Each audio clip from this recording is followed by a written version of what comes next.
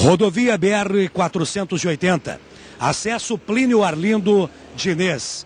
Esta rodovia que trouxe mais agilidade, maior trafegabilidade e comodidade para as pessoas que passam por aqui. Chapecó, 200 mil habitantes, uma cidade polo em pleno desenvolvimento. E aqui, esta rodovia é a, a rodovia que liga os estados do Rio Grande do Sul e também do estado do Paraná.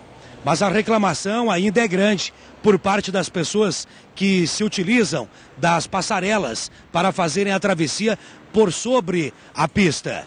Recentemente, nós tivemos o registro de alguns óbitos neste trajeto da, do acesso Plínio Arlindo Diniz. Há quem diga que um dos motivos é a falta da conclusão das obras das passarelas. Depois da gente constatar e verificar que a primeira passarela no acesso Plínio Arlindo Diniz de fato está em plenas condições dos pedestres fazerem a travessia, uma obra que está concluída, mas eu lembro de três, somente uma concluída, nossa reportagem parou aqui na segunda passarela. E aqui constatamos que, de fato, não está concluída esta obra. Veja a situação em que se encontra. Ela não tem a continuidade da rampa para que o pedestre consiga, de fato, fazer a travessia. Nem mesmo cadeirantes aqui têm condições de passar por aqui. Veja, nós vamos tentar aqui passar. Olha só. É, é com pedras aqui, ó. Opa, eu quase caí aqui, ó. Isso é um perigo, pode causar até um acidente. Olha só. A pedra está solta aqui, ó. Ó, veja, a pedra está solta. E vamos tentar subir aqui. É, com muito esforço eu consegui subir. Aqui não tem o, a proteção para o pedestre conseguir. Porque quando você chegar lá. Vamos caminhar aqui, eu quero ver. Quando você chegar aqui mais no meio, aqui, ó para fazer a travessia, você pode ter um mal-estar. Você pode ter um mal-estar e acabar caindo. E se cair, pode acontecer algum, algum acidente. Então, nós vamos fazer esse passeio, me acompanhe com o Cato. Vamos fazer esse passeio aqui, ó, para ver. É de fato, tem que ter coragem, tem que ter coragem. Repito, tem que ter muita coragem para você passar. Porque à medida em que você vai caminhando, observe as laterais. Você não tem, você não tem como se apoiar. Veja. E isso pode trazer, pode causar, pode causar algum tipo de acidente. Então, crianças, como que uma criança vai conseguir atravessar aqui sem um responsável. Olha só. Vamos aqui. E aqui sim. Aqui então, no meio, já tem esse parapeito, essa proteção, para você conseguir fazer uma travessia com segurança, com toda a segurança possível. No momento em que a nossa reportagem parou nesta passarela da obra inacabada, nós flagramos um senhor e mais uma senhora fazendo a travessia. Obra inacabada, nós vamos ver como que o pedestre vai fazer agora para descer. Olha só, a dificuldade, ele tem que se dobrar. Amigo, com licença, a obra inacabada complica ainda para fazer a travessia? É um pouco complicado. Falta é, o corrimão. Falta o corrimão, é, é, meio perigoso atravessar ali, né? Ainda que na parte de, de cima da pista tem, né? Mas na beirada aí não tem, né? Mas a. Como é o seu nome? É Gilmar. Gilmar? Busquevitz. Vamos ver como que essa senhora vai fazer para descer agora aqui, ó. Olha a dificuldade. Com licença um pouquinho, como que é o seu nome? Débora. Você conseguiu fazer a travessia, mas falta aqui ainda o, o corrimão e aqui a situação está complicada, né? Sim, bem complicada, até porque muita gente reclama que fica tonto e é, é perigoso e arriscam acaba passando aqui no meio da, E aí é, é, perigoso, né? Quando você começa a subir, se tiver algum problema, tiver um mal-estar aqui, pode até vir a cair. Sim. Você faz esse trajeto frequente, Débora? Não, não muito. Só quando precisa ir pegar a lotação do outro lado. Aí quantas vezes por dia? Não é todo dia. Não é todo não. dia. Mas vocês estão aguardando com ansiosidade aqui para que essa obra seja concluída? Sim. Rápido. A nossa reportagem foi buscar então as informações com o secretário de Desenvolvimento Regional, Américo do Nascimento Júnior, que fala da conclusão destas passarelas no acesso Plínio Arlindo Diniz. Bom, nós temos esse projeto, é um projeto importante, é um presente para Chapecó, que é o acesso é, da 480, o acesso Plínio Arlindo Diniz, obra de 105 milhões, com 92% dela concluída, aonde faltam aí 8 milhões, 9 milhões, estamos discutindo ainda, é, para finalizar essa obra.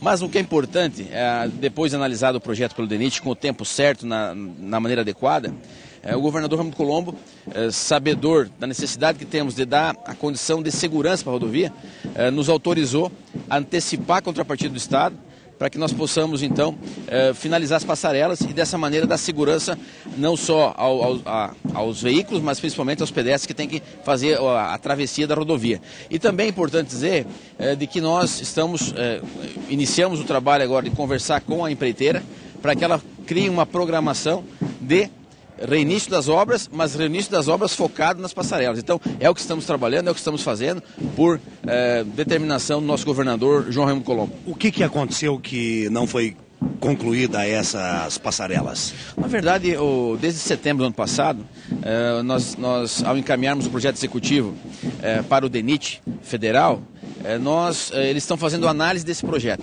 E é uma análise importante, que tem que ser feita com calma, com detalhamentos, e nós estamos respeitando essa posição do parceiro de fazer análise adequada e correta do projeto, e nesse meio tempo nós ficamos é, aguardando esse deslinde. Como isso não aconteceu, ainda, mas vai acontecer, nós estamos fazendo o quê? Tomando a iniciativa de antecipar a contrapartida do Estado para então finalizarmos as passarelas. Quer dizer, em outras palavras, teria faltado o projeto é, na construção já de toda a obra? Não, na verdade, Biavachi, o projeto, a, a, obra, o projeto com, com, uh, conceitual é um projeto perfeito, né?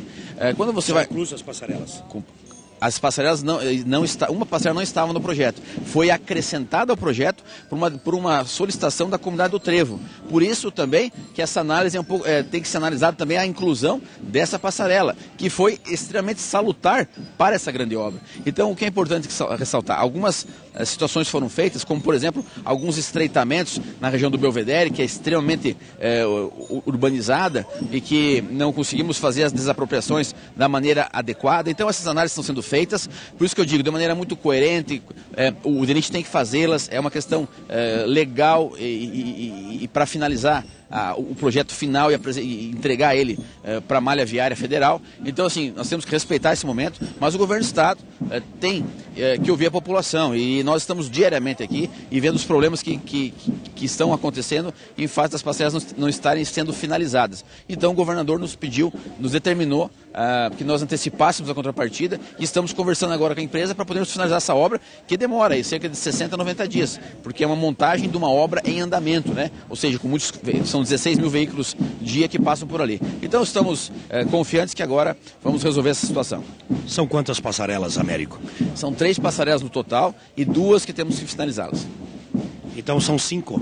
Não, são três passarelas. Três. Uma é, próximo ali ao Esperandil, próximo da, da rótula da bandeira, que está pronta. A em frente ao Belvedere, na rótula do Belvedere, que falta finalizar. E a do Trevo, que falta montar e finalizar. E aí, com certeza, a população fica satisfeita. É, nós estaremos dando condições de segurança total à rodovia. E aí cabe ao cidadão fazer aí o seu... se cuidar, né? Para fazer a travessia. Isso demora 60, 90 dias para começar. É a nossa previsão, não. A nossa previsão é, é finalizar em 60, Esse 90 prazo. dias. É. Só eu não te digo exatamente quanto, porque Sim. eu não consegui ainda finalizar o cronograma Até com a empreiteira. Natal está logo ali, então.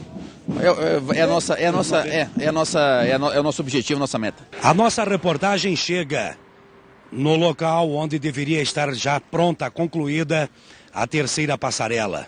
Veja o que nós encontramos. Apenas os pilares, os marcos de que, os sinais de que aqui, de que aqui deverá ter uma passarela. Oxalá que até o final do ano essa, essas obras sejam realizadas e concluídas, dando mais segurança, conforto para aquelas pessoas que necessitam atravessar sob a 480 eh, no acesso Plínio Arlindo Diniz, façam então com segurança. Porque o acesso Plínio Arlindo Diniz já ficou marcado, já ficou manchado de sangue. Alguns óbitos registrados aqui em virtude da falta de acessibilidade, da falta da mobilidade da falta de uma passarela com segurança. O cidadão merece. O cidadão, ele precisa. E o pedestre, ele quer contar com este serviço, com esta disponibilidade de fazer a travessia segura sobre uma rodovia federal. As imagens são de Gilberto Luiz Concato, o repórter J. Biavati. Eu vou até onde os outros não vão.